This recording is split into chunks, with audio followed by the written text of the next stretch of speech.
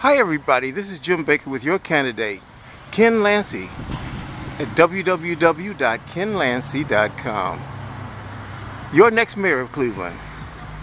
Congratulations, Mr. Lanci. Did some research online today and discovered that you are able to be the mayor of Cleveland. Love this upside down, topsy-turvy billboard that you posted. And now you've erected it and made it like right side up. We, you have my, you still have my vote. And I look forward to you being the next mayor of Cleveland. And I just saw it re-erected in this form. And I just thought it was irresistible. I've got to take a picture of this for your, your uh, constituents online. So, welcome to big time politics, Mr. Lanci. You certainly are welcome.